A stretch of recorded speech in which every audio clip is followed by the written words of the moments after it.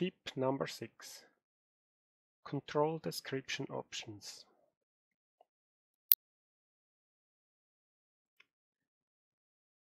To add a control description on the map, you need to choose the control description symbol in the symbol box and a drawing tool.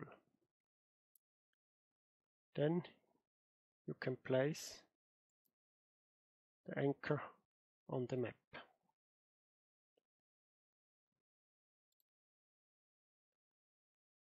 For each anchor you can choose if it should be a symbol control description or a text control description. And if the anchor is the top left or the bottom left. We now place this example the second control description anchor and choose the text option for this one. If we now activate the preview, then we can see both control descriptions.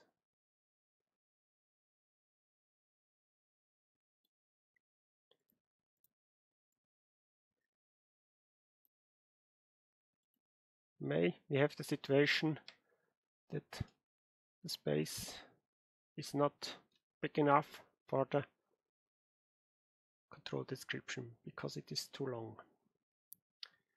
In that case, we have the possibility to go to the course setting options and to reduce the maximum length.